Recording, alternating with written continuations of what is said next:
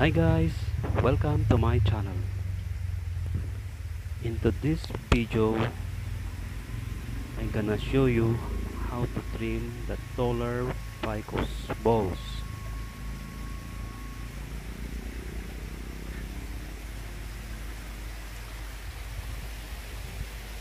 Now it's too bushy, that's why we're gonna need to trim it to put back in his shape as a ball shape.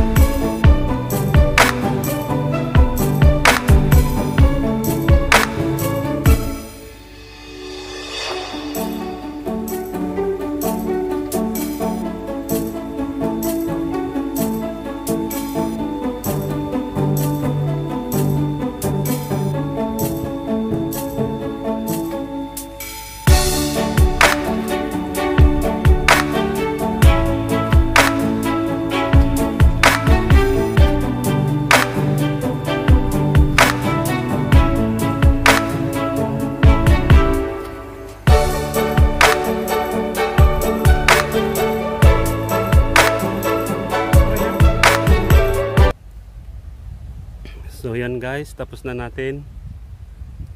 Ayan ang resulta. Gamit ang long cutter na yan. Yan.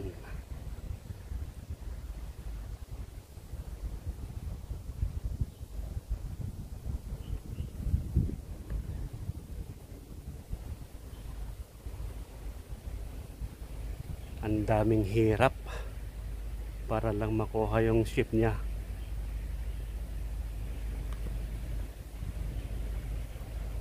Napagod ako ng pang ano mga 50 iyan. Mahirap gawin pero kailangan. Kailangan kumayod. Kailangan natin kumita ng dolyar